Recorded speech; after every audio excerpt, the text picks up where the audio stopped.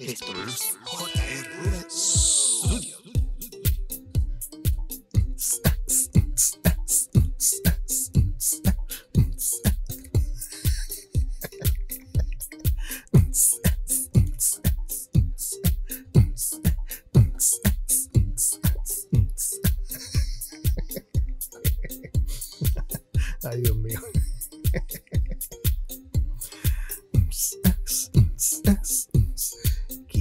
¿Qué diantre es eso?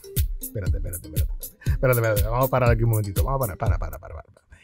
¿Qué diantre es eso? Yo estoy llegando a la pubertad tarde. Amigos, me estoy viendo ahora mismo en la cámara y estoy notando que tengo en plena frente un barrito que eso no estaba ahí ayer. Ay, Dios mío, la cosa que uno ve, de verdad que estas cámaras.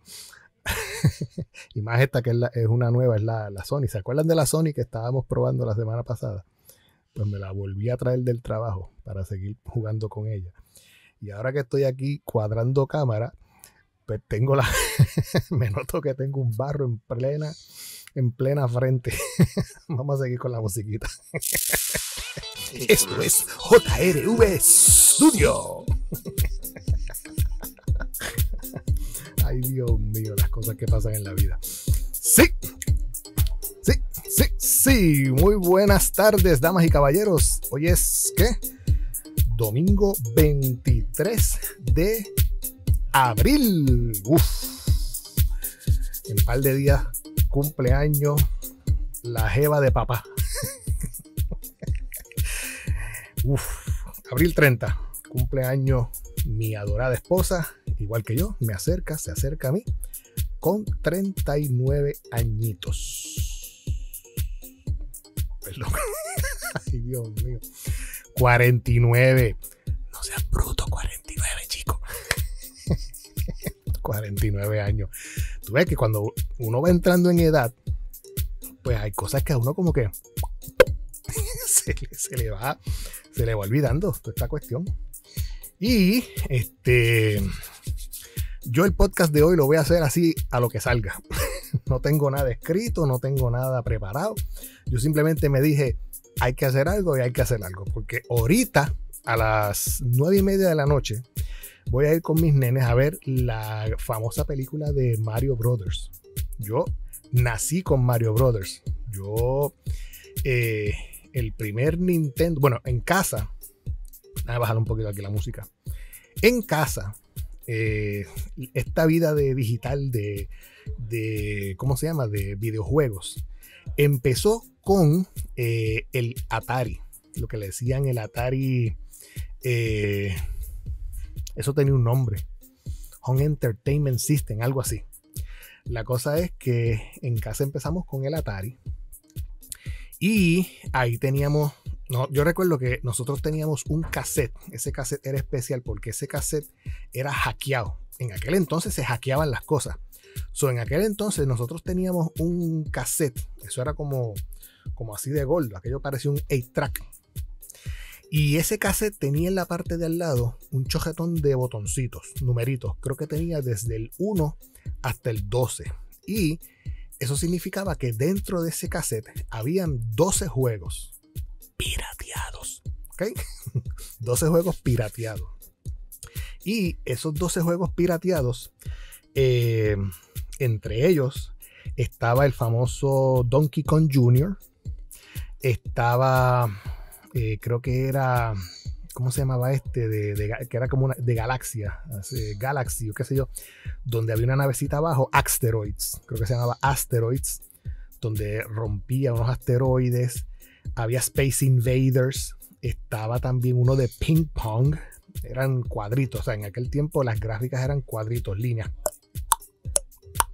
Tú sabes. Y este eh, había uno de Frogel, había uno, estaba el famoso de Mr. eh, creo que era Pac-Man y Mrs. Pac-Man, estaban los dos. Y este, ¿qué más había en ese, en ese cassette? Eh, yo sé que había un par de juegos y, era brutal ver cómo nosotros sacábamos el cassette, mo- bajábamos o subíamos un botoncito, colectábamos y comenzaba otro, otro tipo de juego. Y con ese eh, Atari estuvimos par de años, tuvimos muchos, muchos, muchos años. Y este, después de ahí creo que entonces vino el Nintendo, que era esa caja eh, crema donde tú le levantabas una tapita y ahí metías también un cartucho, un cassette así de gordo. Y recuerdo que uno de los juegos que, compramos en aquel entonces era el, el, de Zelda. Y el cassette era dorado. Era un, como un special edition donde el juego de Zelda eh, Zelda iba, pues, eh, Zelda no, Link en, aquel entonces. Digo, nosotros no sabíamos que se llamaba Link hasta ahora cuando éramos ya grandes. Pero el, eh, Zelda era la princesa. So, entonces, cuando el muñequito iba, como todos los juegos eran de ladito, de ladito. Entonces, tú veas a Link que sacaba la espadita y como que le metía a los, a los malos. Y cada vez que él sufría un cantazo, así como que. ¡Uh! ¡Uh! Y entonces, este. Era un palo, era un palo ese tipo de juego. Y ese juego de Zelda, yo recuerdo que yo fui el único en casa que yo pasé el juego. Yo estuve horas muertas, ¿sabes? Yo estuve horas y horas y horas jugando ese, ese juego de Zelda. Este, y lo pasé. Yo fui el, el, creo que el único en casa que pasé ese juego. Aparte de Zelda, también estaba el famoso juego de Mario Brothers.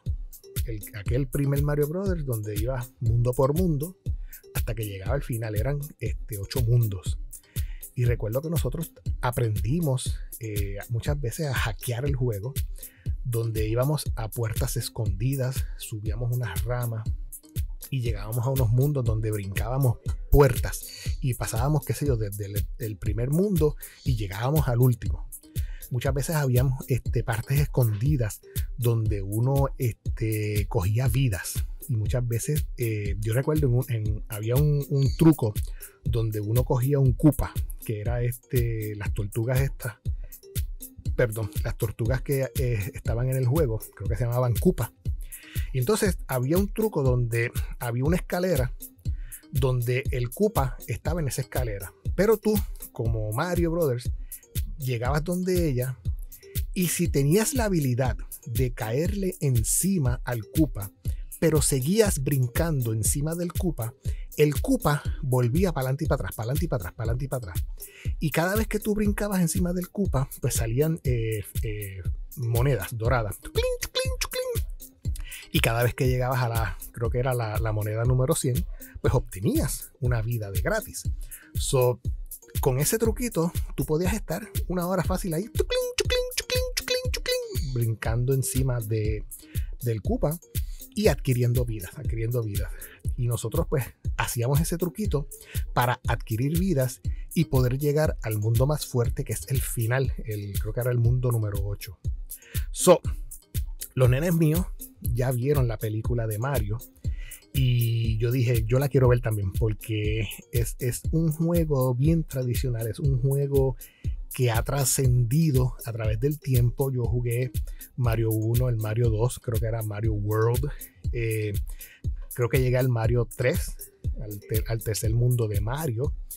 Eh, pero eso sí, ya cuando llegamos al, creo que era eh, ahora, tan reciente como el Wii, o el... Eh, ¿Cuál es el, juego que hay ahora? El Nintendo Switch, algo así. Que ya ese juego de Mario se convierte en un mundo 3D, donde Mario puede estar caminando boca arriba, boca abajo. Creo que es el juego de Mario Galaxy. Yo lo jugué un día y escucha para allá. yo lo jugué un día y literalmente el juego eh, me mareó. O sea, yo no sé eh, yo no sé si. Si. Si este. ¿Cómo te digo? Si es ya la vejez. Pero el juego me mareó. O sea, literalmente me mareó y no podía. O sea, no, literalmente no podía. Eh, no podía jugarlo. Este. Y eh, los nenes pues vieron la, la, película y a ellos les encantó. So, yo eh, voy a, a ir a ver la película con ellos y este, a recordar viejos tiempos. Tú sabes, voy a, a disfrutármela, ya que nunca se ha visto una película de Mario Brothers de esta índole en 3D. Eh, yo sí le, pregunté los otros días al nene, porque creo que el nene chiquito me dijo, este, empieza en versión humana y cambia a versión eh, mágica de, en 3D de muñequitos. Y yo decía dentro de mí, pero ve acá, este, cuéntame, ¿qué, qué pasa? ¿Cómo, cómo, es que, ¿Cómo es que comienza la película? Y entonces el nene mayor me dice, no, no te voy a decir, no te quiero dar spoilers, quiero que tú vayas a ver la película. Y yo, ¿en serio, mano? Ah, mi María. So, pues, ¿qué, ¿qué, remedio? Pues voy a ir a ver la película de Mario Brothers eh, con mis nenes y este, vamos a ver qué sorpresa eh, me, trae. So, eh, eso es una de las cosas que quería mencionarles en la tarde de hoy. La otra cosa es, quería mencionarles el Expoaela que hubo. Se recuerdan que yo dije que esta cámara yo la iba a probar en el Expoaela de, del sábado 15 de abril. Pues el Expoaela se dio un éxito total, rotundo, una cosa terrible. Yo nunca en mi vida había imaginado estar en un, lugar así. Yo les voy a hacer el cuento corto largo, mejor dicho, el cuento largo corto. Eh, fue una experiencia agotadora, literalmente agotadora.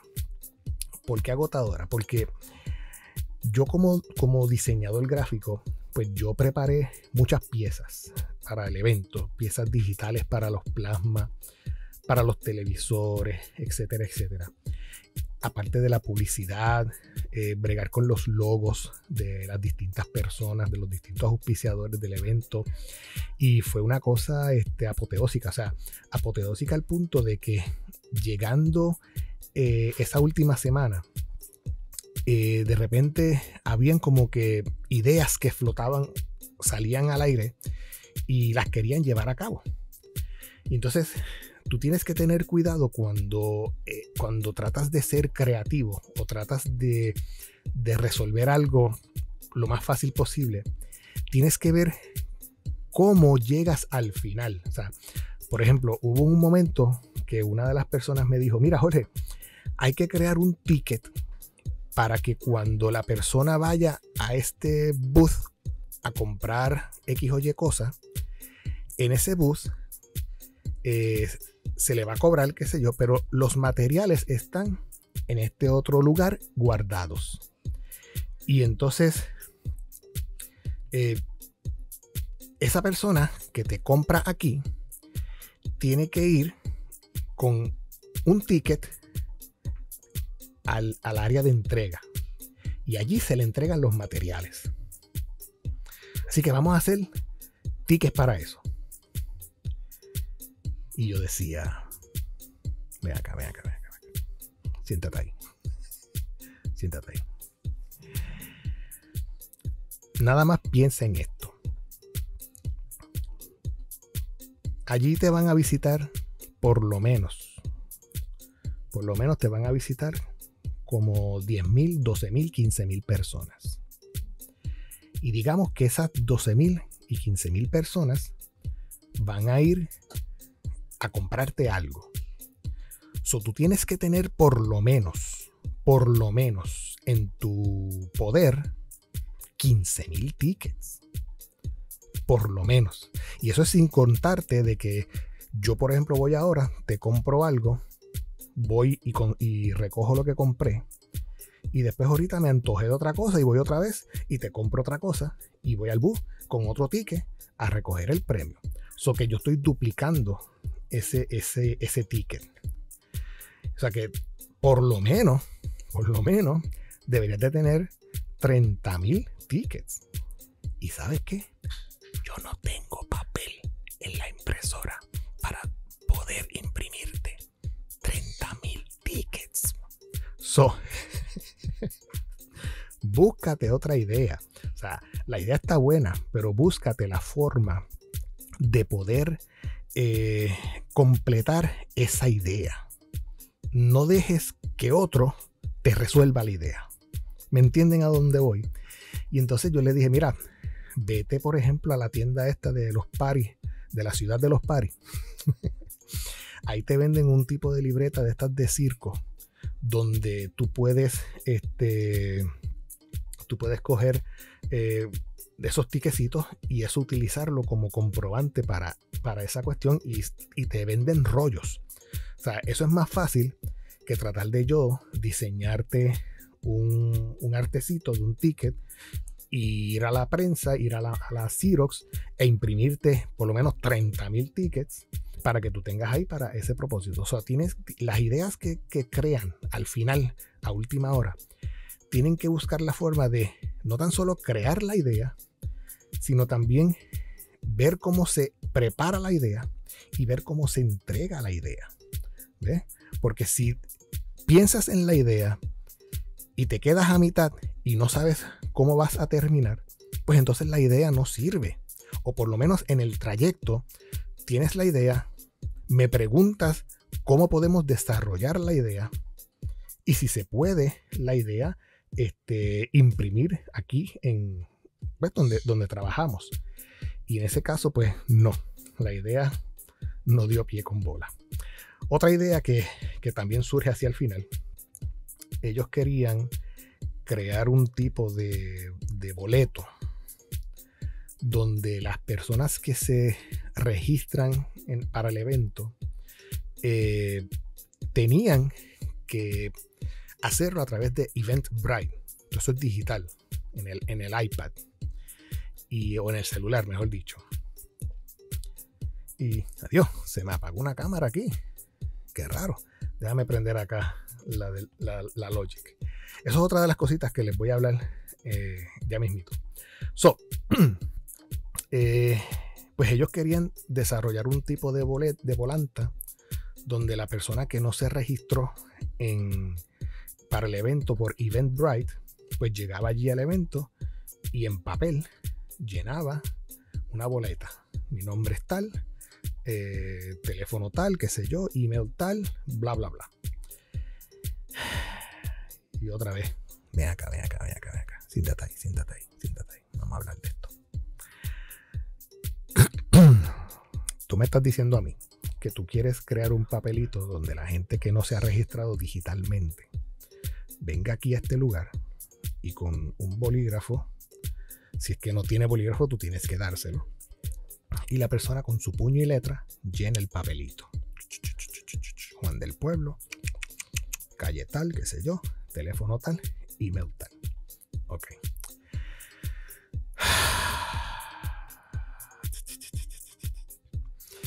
Tú sabes la fila que tú vas a tener de gente con un papel en su mano esperando a que alguien en el registro, en una esquina, en, otra, en otro registro, coja esa volanta en sus manos y diga, eh,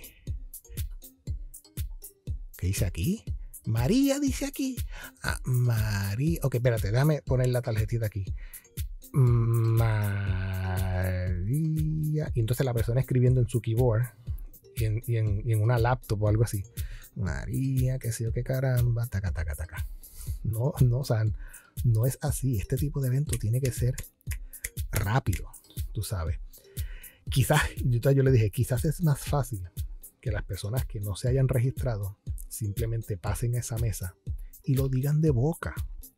Y entonces, en el mostrador, tienes a una persona con una laptop quizás una aplicación con la aplicación de Excel, por ejemplo, tabulada, con, con sus cajitas, y va escribiendo, pues, dígame el nombre, María tal, tal, del pueblo tal, teléfono tal. Ok, ya está registrada, puede pasar.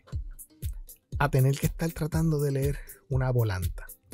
Pues efectivamente, eso este, murió, o sea, esa idea murió eh, en el acto. Y yo cuando estaba allí en una de las reuniones, yo decía, yes, porque es que vuelvo a lo mismo.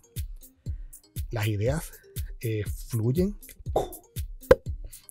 fluyen, tú sabes, salen a, flor de piel en, en momentos donde te piden algo. Pero aparte de elaborar la idea, trata de llevarla a través del proceso completo, piensa bien en lo que estás diciendo y ver si es posible y llega al final. En este tipo de eventos, eh, lo mejor es que todo sea digital, que la persona se registre digital, que la persona eh, ya lleve un QR code, etcétera, etcétera, se registre, etcétera, etcétera. Nada de manual porque todo eso es inevitable. Y hasta los mismos viejitos, miren, los mismos viejitos saben a veces mejor usar el teléfono que usted y yo, porque ellos están todo el día en el chavado teléfono, traqueteándolo, dándole para arriba abajo, y muchas veces ellos saben traquetear el teléfono mejor, que nosotros. Así que nunca subestimemos a, una persona mayor, a un adulto, a un viejito, como le digo yo, en cuestión de tecnología. Los viejitos saben mucho de tecnología. Y entonces, eh, otra de las cosas que quería hablarles, déjame ver si puedo aprender aquí ahora mismo la Sony. La Sony, ustedes, eh, yo estuve en, el, en el a ver si puedo aquí prender y apagar. Yo estuve en el Expoela, eh, sí, ya prendió. Ok, yo estuve en el Expoela grabando en vivo, déjame cambiar para allá. Yo estuve grabando en, vivo en el Expoela eh, ciertos detalles, ciertas partes, poquitas partes.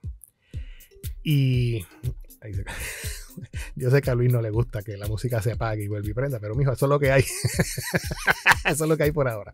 Ok, en el Espoela yo tuve eh, también ciertos problemas y los estoy teniendo porque todavía no conozco bien la cámara.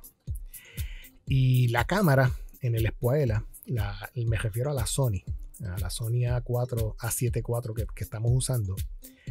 La Sony, eh, ahora mismo la tenemos conectada a la iMac, a la Mac Mini, a través de su cable eh, USB-C a, eh, USB. Y la camarita en ciertos momentos se me apagaba. Y yo decía, pero ¿por qué se me apaga? Entonces yo tenía que cambiar la cámara a la otra, en lo que bregaba manualmente con la cámara, la prendía y la apagaba, la tocaba, qué sé yo. Y la cámara, eh, por alguna X o Y razón, eh, tenía que ajustarle el tiempo del display. Donde si ella no está siendo usada, digamos por 10 minutos, pues ella misma se apaga. Tengo que buscar dónde eh, ponerle ese feature en off. Otra cosa que también me pasaba era que la cámara, ella tiene un botoncito, una, una cuestión de emergencia, donde si ella se calienta mucho, se apaga. Y ella sucede que se calienta si tú tienes, por ejemplo, el, el, visor, la pantallita que se abre, si tú la tienes pegada o cerrada por la parte de atrás, esa pantalla cierto, de cierto modo transmite calor. Y la cámara tiene un switch de seguridad donde ella misma, si detecta que hay mucha calor, se apaga. So, este tipo de cámara, cuando estamos así grabando, hay que tenerlo en un ambiente bastante frío, bastante fresco, para que ella este, no se caliente voy, a lo, voy a lo mismo. Tengo que seguir leyendo sobre ella. Por eso es que yo me la traigo y trato de jugar con ella porque de vez en cuando se apaga y no sé si es porque hay un momento en donde pasa tiempo y no la uso mucho. Por ejemplo, yo puedo tocar aquí ahora mismo y hacer un enfoque en mi cara, como puedo tocar aquí abajo y hacer un enfoque allá atrás. So, si yo toco aquí, a ver dónde era. Si yo toco ahí, ahora se enfocó allá y mi cara quedó este blurry. Si toco mi cara, ahora el enfoque está al frente. So, yo no sé si hay que estar jugando con ella o si también es que se me calienta y ella pues por seguridad se apaga. So que tengo que estar pendiente a eso, por eso es que yo me la traigo y me pongo a jugar con ella. Porque sé que tengo que bregar con los settings. Ahora mismo hice el cambio de cámara para dejarla tranquilita y ver eh, que no se caliente mucho y, se apague. So, este, estoy jugando con la Sony, con la Sony A7 IV, con esos detalles. Otra cosa es, eh, en el trabajo también la uso para grabar el, episodio de, radio eh, que le llamamos o se llama Palante con Aela, que dura una hora, que es un, live streaming por Facebook. En el trabajo hay aire acondicionado. So, en el trabajo la temperatura es fría. Y en el trabajo la cámara dura prendida, encendida toda la hora. So que hay cosas que uno como que a veces tiene que tener en mente cuando trabaja con cámaras, cuando trabaja con equipo, donde el calor del ambiente afecta eh, los, los componentes que tú tienes. Quizás un iPhone no se apaga, quizás este, una Logic no se, no se apaga porque no tiene los aditamentos de adentro, los chips, etcétera, etcétera, no necesitan tanto flujo de aire. Pero una computadora se te puede apagar porque si se calienta mucho. Ahora mismo esta Mac Mini mía, si yo la toco, sí, yo la siento. La siento caliente, coño. Tener que prender el abanico rápido. Esa es otra cosa, es que aquí en el estudio mío, yo tengo un abanico de techo. Y ahora mismo está apagado. Porque si yo lo prendo, el, el ¿cómo se llama? El abanico pasa por las luces. Y entonces ustedes van a ver todo el tiempo como un flicker, como un fliqueo en el video. Y yo pues para evitar eso, pues trato de apagarlo. Aparte de que se escucha un hum del aire. So que acuérdense que esto es un estudio casero. Esto yo lo preparé con el poco conocimiento. Tengo aquí foam board, eh, tengo aquí eh, foam en las paredes para evitar eh, el sonido y que el sonido rebote. So que esto es un estudio homemade, pero es, necesario tener este tipo de estudio con, con un aire acondicionado. Y yo sé que viene un aire acondicionado manual, eh, mejor dicho, portátil, que es como una cajita más o menos de tres pies de alto. Voy a tener que pensar más adelante comprar ese tipo de aire para usarlo aquí adentro.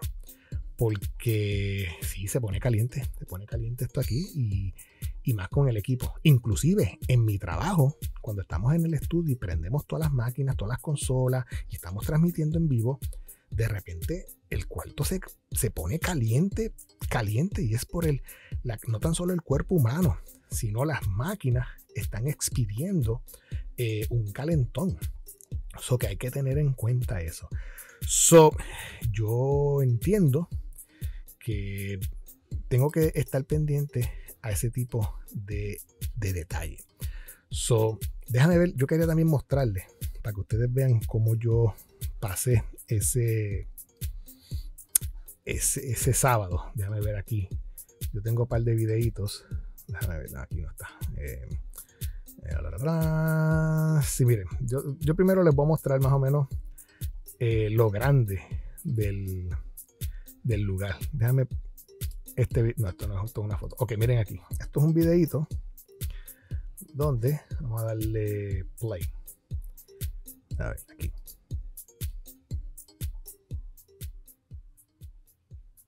Se escucha. No sé si se escucha. Bueno, yo creo que este, este video no tiene sonido. Pero si se fijan, miren lo grande que es el, el centro de convenciones. Miren las personas, qué pequeñitas se ven y miren lo grande que es el centro. ese centro se llenó a capacidad el día de la actividad. Ahí donde están esos zafacones, ahí estaba la tarima. todo este centro, este, nosotros lo ocupamos para la actividad de la escuela que quedó de show. So, déjame buscar otro tipo de videito en donde... Um, déjame ver. Por aquí, déjame ver. Ok, este fue el día que hicimos el montaje. Déjame darle play aquí al videito.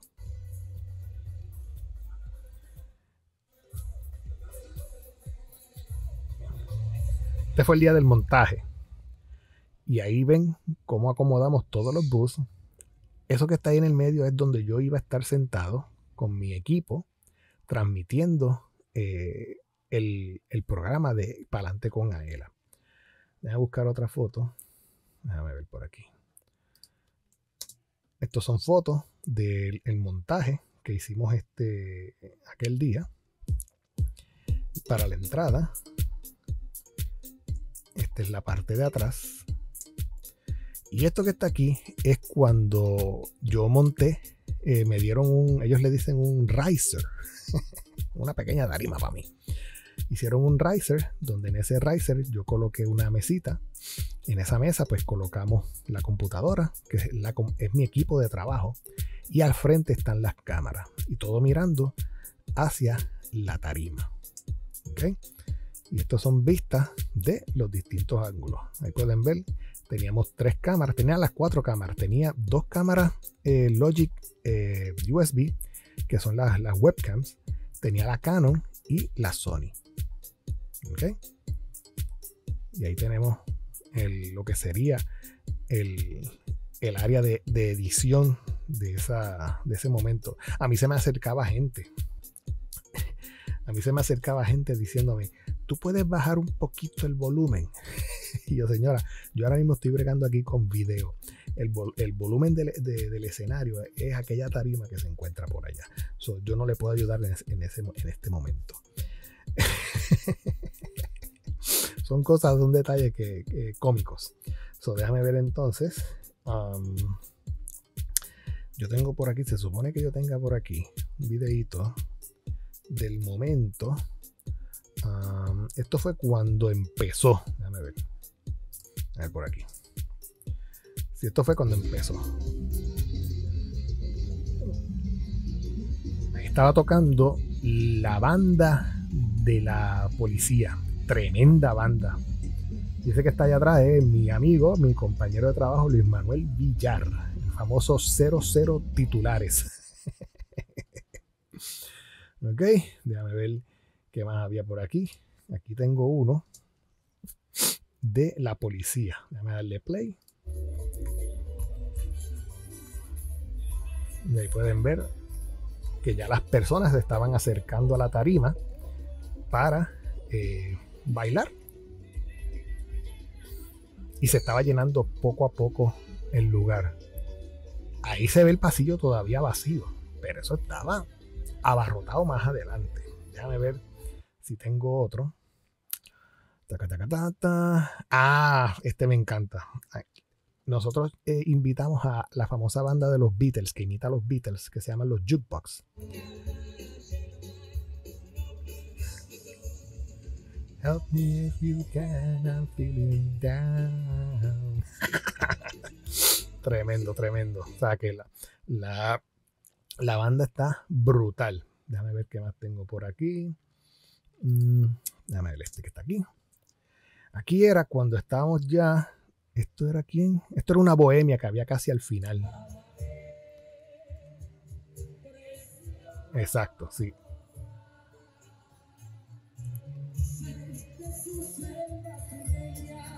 Miren el equipo. La computadora, la iMac y el monitor Cinema Display que tenía en ese momento. Y las cámaras, en esa está la Sony y la Canon. Y las webcams, que son las Logitech. Tenía dos cámaras Logitech eh, mirando hacia el público y las otras dos cámaras mirando hacia adelante. So, tremendo. Ese set pues me gustó mucho. Déjame ver qué más tengo por aquí que pueda mostrarles. Por aquí tengo. Ah, esto fue ya en el final, con Mili Quesada. Ahí ya la parte de frente de la tarima se, llenó. Llegaba un punto que a veces la gente a mí me movía la tarima. Y yo me paraba y le decía a la gente, por favor, chico, me están moviendo la tarima. y la gente me decía, disculpa, disculpa. En realidad yo estaba en un lugar um, no idóneo. Se supone que todo lo que es cámara, eh, consola, etcétera, etcétera, se supone que esté detrás del público o al lado de la tarima. Pero como todo esto es eh, homemade, como todo esto es, eh, como quien dice, casero, Nada, esto es semi profesional, no es profesional, porque si fuese profesional estaría en el choliseo. Pero esto es, esto es un montaje creado acá con el poco conocimiento que uno tiene y uno adquiere a través del tiempo, a través de los años, donde uno pues con un par de cablecitos, de artefactos, pues uno puede hacer un tipo de transmisión como esta, un video como este en vivo y en, al momento. So, en realidad, este tipo de montaje, lo que es cámara, sonido, tarimas como la, que yo estaba montado, tienen que estar detrás, porque la gente lo que quiere ver es el escenario, no quiere verle la espalda a Jorge Rafael Valenzuela. so, eh, para la próxima hay que ver cómo uno puede, quizás pudiéramos alquilar cámaras que entonces de largo alcance, donde yo pueda conectarlas a la computadora y trabajar desde allá atrás, tú sabes. Este, pero teníamos el problema ese del internet, dónde iba a estar el cable, dónde iba a estar el cable eléctrico saliendo. So, eh, las cámaras, la cablería, etcétera, etcétera. Lo más que yo tengo son 20 pies de largo de cables que van desde el HDMI de la cámara hasta eh, la computadora. So, todos esos detalles, quizás en una situación pequeña, donde tenemos un pequeño auditorio, una mesita, etcétera, etcétera, pues ahí sí sirve y te ahorras par de pesos. Pero cuando es algo ya de, este, de esta índole, así de grande, este, necesitas eh, que te provea, necesitas alquilar equipo profesional, materiales profesionales para, para este tipo de, de evento. So, déjame ver si tengo algo más. Creo que por aquí tengo uno. Déjame cambiar la camarita. Por aquí tengo uno donde estoy yo en pleno plano. Déjame darle play aquí. Ya esto es con Mili Quesada al final. Miren cómo está eso ahí. Yo estaba en el mismo medio del público con mi computadora, con mi cámara. Y la gente pues estaba bailando, gozando. Bueno, al final del. Al, final del evento. Al final del evento.